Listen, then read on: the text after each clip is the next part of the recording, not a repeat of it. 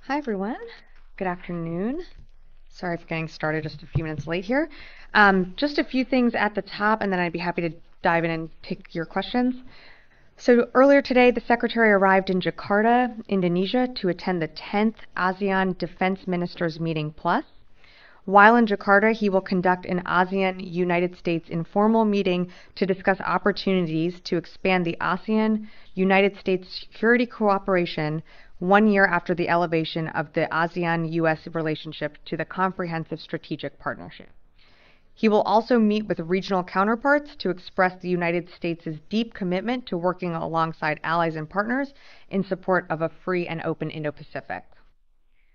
Also earlier today, Secretary Austin approved a request from the DC Homeland Security and Emergency Management Agency to provide 30 DC National Guard personnel to support the DC Police Department during the March for Israel on the National Mall. These 30 guardsmen will be unarmed and will provide traffic and crowd management support to DC Police from 5 a.m. to 7 p.m. today and will remain under the operation and administrative command and control of the DC National Guard. The Secretary has additionally authorized the activation of approximately six Guardsmen from the D.C. National Guard Civil Support Team. These Guardsmen will sim- similarly be unarmed and will remain under the command and control of the D.C. National Guard while providing support to D.C. Fire and Emergency Medical Services. For more information, we would refer you to the D.C. Homeland Security and Emergency Management Agency. And finally, turning now to our forces in Syria and Iraq. Since October 17th through today, we are tracking that there have been 55 attacks on U.S. forces. There have been 27 attacks against U.S. forces in Iraq and 28 attacks in Syria. And an update for you um, from last week on injuries. We are also tracking 59 U.S. personnel who have received injuries in the TBI or non-serious categories since these uh, since these attacks began. Approximately 27 personnel have been evaluated for TBI and 32 for other non-serious injuries. As of today, all 59 have returned to duty. And with that, I'd be happy to take your questions. Tara, you want to start us off? Yes, thanks. Um, to just start with Syria, can you give us any additional information on the airstrike that happened over the weekend? What sort of battle damage assessment was there? And did that strike result in casualties um, on the ground? So something that we are continuing to do is uh, battle damage assessment, but I don't have anything to read out in terms of casualties. As we um, mentioned over the weekend, we are aware that there were IRGC affiliated members in the proximity of the facilities that were struck by our aircraft. Um, but I don't have um, more on, on casualty numbers or anything else to read out. So you don't have a sense of like how many people were in the area. Okay, and then Not just one, one more on the uh, summit that's taking place. Much has been said about the maybe the potential takeaways from this will really be mil to mil and maybe improved mil to mil relations. Sorry, are you talking about the president? Okay, yeah. yeah. Um, what has uh, the secretary communicated as far as what would be a basically a good deliverable to um, help restart this relationship? Well, as you mentioned, this is the president is leading the summit, which is starting um, tomorrow. And so I don't want to get ahead of anything that the president might announce or any outcomes from that summit. Um, we've stressed from the very beginning that we believe mil to mil cooperation, coordination, communication is important. Um, right now, the PRC does not have a national defense uh, or a minister of defense. Um, and so at the ADMM plus that the secretary is at um, starting tomorrow, we don't have any indication that there will be a meeting uh, happening between the secretary and his you know, non-designated PRC counterpart yet. Um, so there are no plans for the secretary to sit down with anyone at this point. But again, I'd let the president's uh, meeting that's happening tomorrow. Uh, I don't want to get ahead of that. And just one last, can you characterize the state of the relationship right now? Are there any conversations going on? Any sort of deconfliction line talks? Are they picking up at all? Are we even trying? Um, I mean, we continue to be both publicly and privately uh, continue to engage with the PRC. Um, we are certainly committed to having an open line of communication and mil to mil communications uh, with the PRC, but we just haven't had that reciprocated um, from their end. Jen, yeah. Sabrina, about a week ago, uh, Iranian-backed Houthis downed an MQ-9 Reaper drone, a U.S. drone, $32 million drone. So far, there's been no response by the U.S., and the Houthis are saying they will uh, threaten Israeli ships in the Red Sea. Isn't the lack of response by the U.S. military inviting uh, more actions, aggressive actions by the Houthis? Yeah, thanks, Jen, for the question. I I wouldn't say that it's inviting um, more aggressive or uh, further response from the Houthis. We've seen the Houthis do this before. We've seen um, our one of our MQ9s shot down before in the past. Um, I'm not saying that we're not going to respond. We always reserve the right to respond at a time and place of our choosing, but um, I just don't have anything to forecast for you right now. I, I mean, as you know, our main goal is to contain and to make sure this conflict is contained within Gaza. Um, right now, that's where we see it. We see the conflict remaining within um, Israel and Gaza and between Israel and Hamas. So, um, as of to date, you know, I, am not going to broadcast any response or for or you know get ahead of any response that the secretary or the president might want to take. Um, but I think we've been pretty clear in our message when it comes to deterrence, and we haven't seen this conflict widen out. You're not deterring the Houthis. The Houthis are continuing to fire missiles toward Eilat. They're threatening ships now. I don't understand um, how a deterrent message is being received by the Houthis if there's no response to downing an MQ-9 Reaper.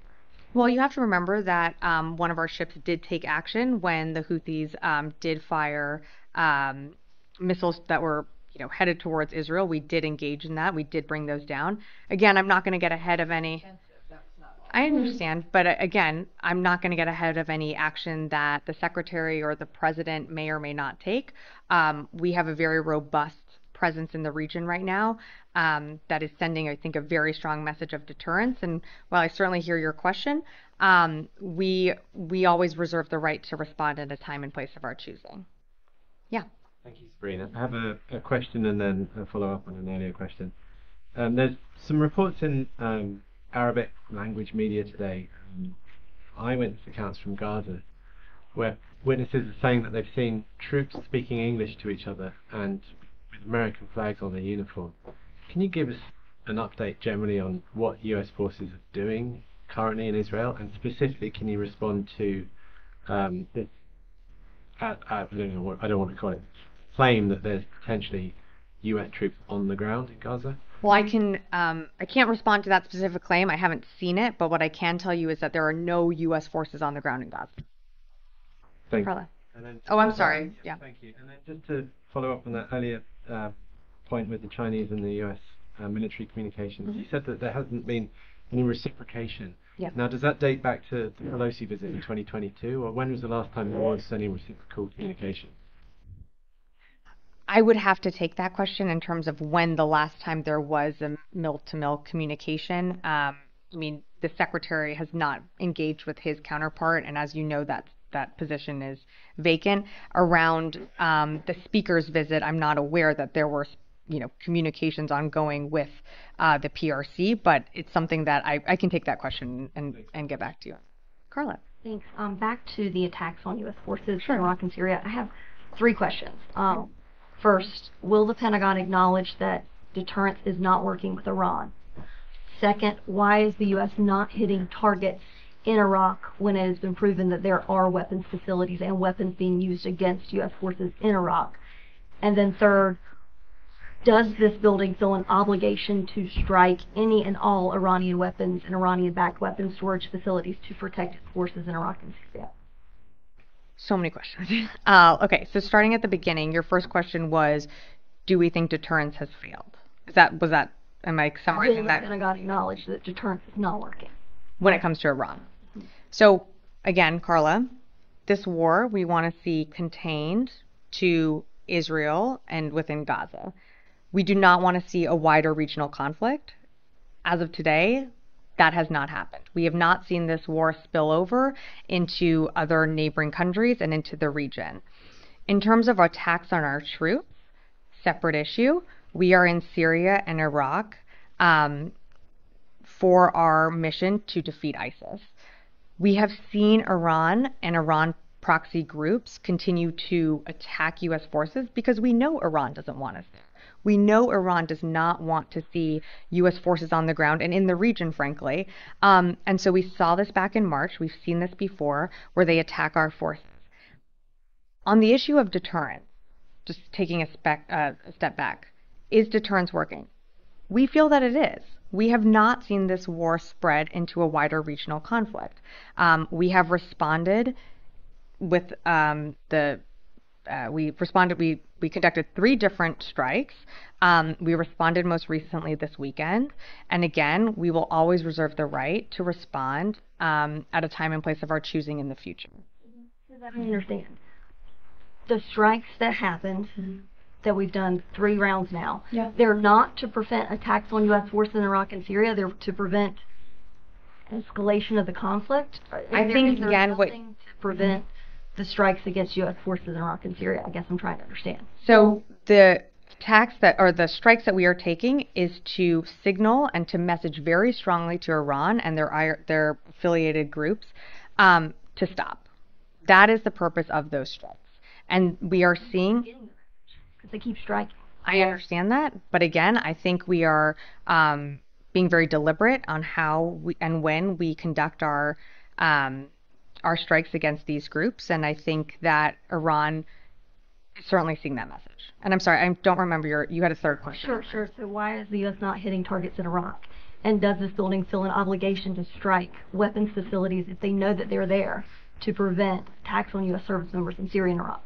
So, in terms of why we aren't hitting where we're hitting, we're hitting places where we feel we can make the most um, impact. And just this weekend, you saw us hit a training facility and a safe house that also operates as a headquarters node.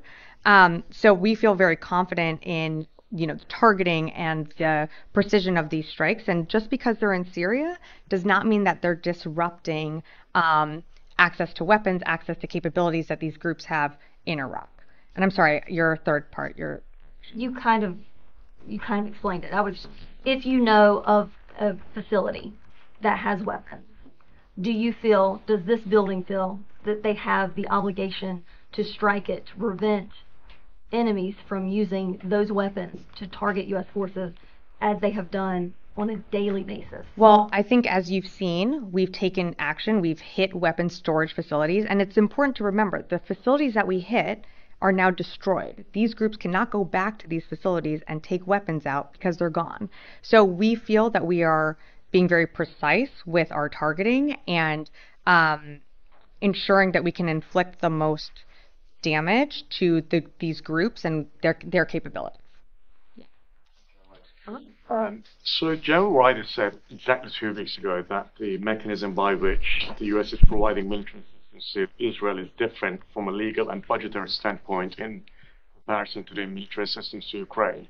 How and why, and also what's the figure we're talking about here in military assistance to Israel? Like millions, billions, tens of billions? What, what, what is it? Yeah, no, so thank you so much for the question. So, in terms of um, what General Ryder said, I don't have much more of an update to provide you in terms of um, how like the dollar amount right now. Um, what I can tell you is we are providing assistance to Israel through very different mechanisms than how we provide assistance to Ukraine. So Ukraine, you're seeing the PDAs or the USAI um, drawdown authorities that we are using. Israel is mainly through FMS, FMF, and then direct contracting that Israel does with um, uh, private commercial companies. Um, so again, I, I, I don't have that amount in front of me right now, but the mechanisms of which we are providing aid to Israel is different from Ukraine. Get into why that mechanism has been preferred over the other mechanism that's been provided to uh, Ukraine? Is like a? Different country, different mechanisms, different relationships that we have with each country. Again, Israel had at the before October 7th a very capable um, professional military. Ukraine was is building up to being a, a very capable fighting force in their you know counteroffensive, and since they were attacked in February of um, almost two years ago, um, but they needed Ukraine needed the support to build up their military that Israel you know already had. Um, so again, the funding mechanisms and how we're supplying aid, it's two different countries, two different wars, and and again you know two different areas of responsibilities. So it's it's a little different. Just one last one. Sure. I haven't heard any figure do you think we're going to be able to, you know, uh, find out how much nutrition is being provided to Israel? Yeah, it's something that we are, we're, of course, I know General Ryder spoke to this. It's something that we're working towards. I just don't have that right here at this moment. Yes, Joseph. Uh, one more on MQ9. Sure. The Houthis said that it was above Yemeni territory. Um, so you said that it was international Yeah. You're still stand. Yeah, the MQ-9 was operating in international airspace when it was shot. Can you explain why you didn't try to cover any of the regions? Um, I believe it just wasn't going to be salvageable at that point. Um, we know that the Houthis did make an attempt to try and salvage um, some of the remnants, and they also were not successful. So, um, just wasn't salvageable at that point. One other one. Sure. Um, on military assistance to Israel. Mhm. We've seen uh, the targeting of civilians and journalists in Gaza. That, that has. Uh, Well, that's quite quite a ringtone. that was him. Okay. It's um, it, it's also expanded beyond uh, those borders. Yesterday, there was a, um, a group of Lebanese journalists targeted in the southern part of that country. Uh, the reporters said that they had coordinated that trip with the Lebanese armed forces and the UN peacekeeping force in Lebanon. So, uh, and this came about a month after a Reuters journalist was killed. They also say that was done by uh, as a result of an Israeli strike. So, what, what's the Pentagon doing to ensure or push the Israeli military on this aid that it's providing to make sure that it's not targeting civilians and specifically journalists? Well, we certainly, I mean, we, I think you asked me this last time, um, and I'll reiterate that we believe that freedom of the press and um, protection of innocent civilians is incredibly important during this time, um, incredibly important when people are on the ground in Gaza reporting on what's happening on the ground. Um, and then, as you mentioned, I, I think it was you referenced Lebanon, where some of these journals journalists were stationed. Again, you know, we are going to continue to urge um, for Israel to continue to uphold the laws of armed conflict, humanitarian laws. Um, and again, we know that this is an incredible, um, uh, I don't know, burden's not the right word, but uh, toll that it takes for journalists to cover these, what's happening on the ground. And it's incredibly important that their safety is protected. Yeah, in the back. Yeah, so uh, two-part question. The president said yesterday that hospitals in Gaza must be protected. Um, is the U.S. telling Israel not to attack hospitals or to shift the way it is operating at these sites? Then, second, uh, do you have any conclusive intelligence that these hospitals are legitimate military targets? So we've been very clear with, um, I think you've seen in the readouts that the secretary has had with Minister Gallant, that we believe that um, the protection of innocent civilians is, course, not only a priority, but it must be upheld. Um, and so you've seen in our readouts time and time again, that is something that the secretary continues to emphasize with Minister Gallant in all of his calls. And you've seen that from from the not just this department but across this administration.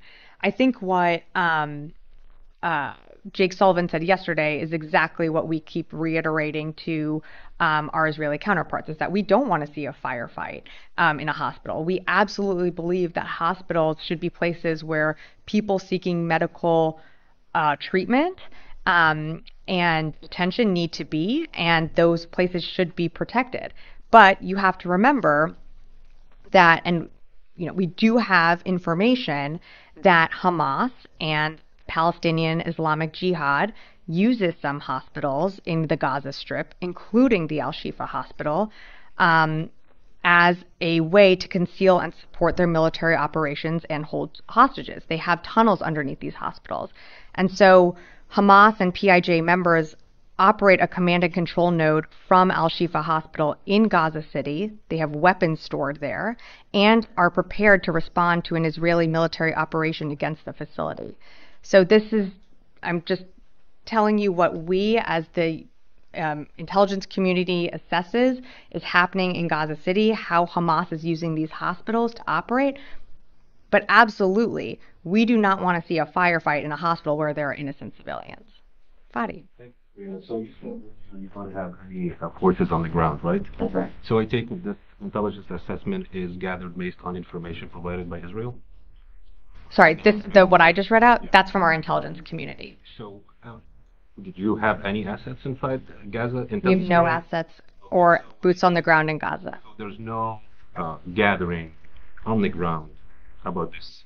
That's right. So you have no one entering the hospital to verify this information, right? We have no one. We have no boots on the ground in Gaza. How was that assessment?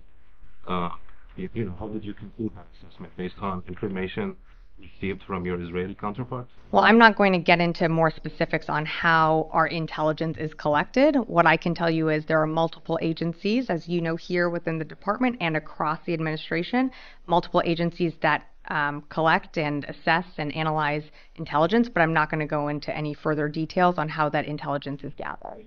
Confirming that um, you have no assets on the ground or assets entering to these hospitals to basically confirm information you're sharing. I will say it again we have no boots on the ground in Gaza. Louis. I'm sorry, Jared, and then I'll come back. to you. Um, what you just read, Yeah. that sounds different than what, it's more expansive than what uh, Mr. Sullivan said yesterday. So, uh, am I correct in saying this is new information that you are providing to us? Yep. That's New language that is being assessed by the U.S. intelligence community? This is newly downgraded information that we felt was important to get out today um, because there have been a lot of um, questions about the hospital and how Hamas operates, and so it was important that um, uh, important to to get out there for you all. Clarify and Fadi's questions here. So this is an independent U.S. assessment, separate from the Israeli, um, their own assessment, or is this information that they provided to you that then you've analyzed? Yeah, I'm not just not going to get into more specifics on the intelligence. I can tell you that this is information that was downgraded and collected by the intelligence community. Yeah, What do you mean downgrade? You mean declassified? declassified. Yeah. What? Yeah, this is independent. What? I'm not going to get into how or where this intelligence is coming from. This is done by our intelligence community. Um, it was put together and downgraded so you can, you know, have a better idea of what's happening on the ground. Can I just? Wait, I think he. Well, I think he wasn't done. I'm sorry. On the subject. Okay. All right, go ahead. Uh, just the, the, the level of confidence usually you uh, when intelligence shares some information or uh, declassify you talk Yeah, I'm not going to go into the the the assessment of like how we feel. I'm just telling you where what the intelligence community um, has been able to declassify today, and how we. I mean, the fact that I'm reading it out to you, we feel very confident in our sourcing and what the intelligence community has gathered on this topic. Um, but I'm just not going to go into more specifics on the intel itself. so you had a high level of confidence because you said we are very confident I'm saying I'm confident reading it to you from this podium today in our assessment. Did you have one more question? Then I'm going to go to the phone. Just on this, uh, just, just to follow up on that previous question. Sure. Multiple levels of deterrence in the region. Um, has the department seen any signs that Iran is attempting to rein these groups in from the sort of localized attacks in Iraq and Syria on U.S. bases? Um, I'm not going to speak to intelligence that we gather. Um, I'm going to, yeah. if I can just follow up, is Sure. there any concern that the IRGC may or may not have full operational control of these groups? Is that something that might be factoring into what's going on right now? Well, we certainly know, and we've been pretty public about the fact that the IRGC, you know, supports, arms, equips, funds, trains these groups. So they do maintain some level of accountability over these groups. I think some of these militias, of course, you know, carry out their own attacks, maybe not necessarily uh, running it up all through their command and control nodes, but we know that um, Iran certainly has a role to play with these groups.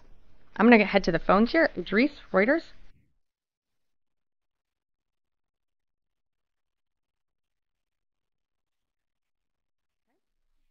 Nothing heard. Uh, Chris Gordon, Air and Space. Uh, thanks, Sabrina. On the U.S. airstrikes, uh, you and other U.S. officials have said broadly the message to Iran and these militias is to stop. So does that mean no attacks on U.S. troops in Iraq and Syria uh, by these militias? Are these airstrikes intended to stop attacks completely, to limit them, to degrade them? What's the end game here? What is the practical, achievable goal of these U.S. airstrikes?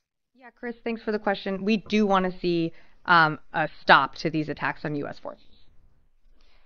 Next question, Jeff Schogol, Task and Purpose.